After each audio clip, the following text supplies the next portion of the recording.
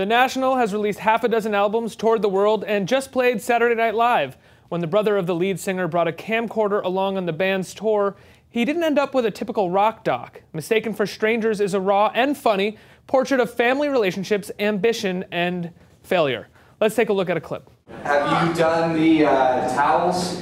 Yes, I got all those ready for Wine you. bucket? Yep, Water bottles? yep.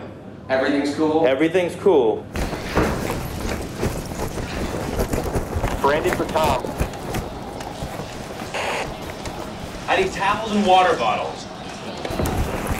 Tom, I thought you did this. Brandon yelled at me earlier. I know he, I know he, he's got to be stressed. Why did he yell at you? For doing this, for just for just filming. I feel like I feel like the only reason why he thinks I'm on tour is because I'm your brother. Here, here's the truth. The only reason you are here is because you're, you're my brother.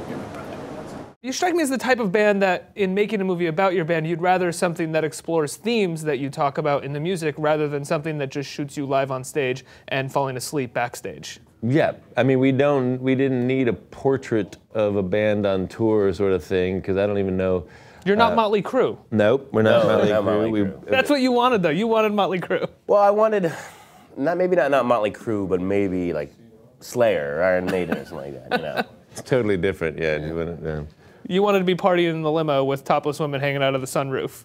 women, any women in general. We do that. we do that. Yeah. No, um, we don't do that. Having him on tour was great, but it was also kind of really fraught. You said something, and then he moved in into my. I invited him to move in, um, and and he finished the film, and, and and then my wife was helping make the film. So, but it did get very toxic at times. You know, Because I- you're constantly exploring your issues. yeah. Um, so, but I think the, the the the end result is that we kind of.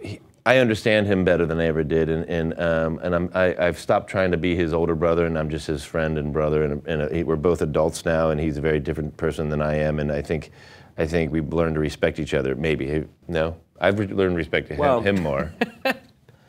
Yeah, I, I would say the same thing. Yeah. Um, yeah. Do you feel like you learned more about him than you knew going into the film, or more about yourself going into the film? Well, I certainly learned a lot more about myself, and uh, and maybe, uh, I you know I. I learned. I you know I, I think like I said, I, I, this this film forced me out of some sort of like funk that I was in. I was I was looking. I, you know I and I kind of I learned a lot about life and a lot about adulthood.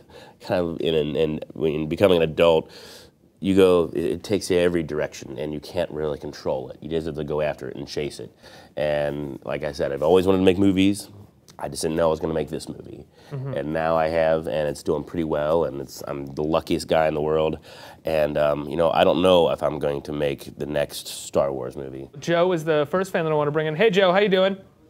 Hi, Joe. Joe, you've got a question for the guys. What's your question? Hey guys, really love the movie. Um, one of the things I really loved about it was that it added an element of playfulness to to the you know the experience of the national the music. So I guess you know my question is like both Tom in your movie and Matt in the, in the music like where do you how do you find how do you find a way to put in playfulness with these like heavy topics that you guys both deal with? I think, I mean, um, I mean, it's true. It's like our band is, is known as being depressing and dark and dour and miserable and all the other, uh, you know, things that that mean the, mean that. Um, and um, I, I've always thought that we've had had that that our music has had a lot of humor in it and a lot of kind of honest, awkward, truthful humor. Um, and so what's that one song that has i'll, ha- I'll have my head in the oven so you'll know where i'll be yeah, That's a good joke. that's a, yeah that's a great joke yeah Nobody, nobody thinks we're funny though. I, I, I mean, the Which thing is, we're probably not funny. I went to college and everything as a trombone player, and um, so you know, every time we get in for a session, I was like, "Hey, so is this the trombone song?"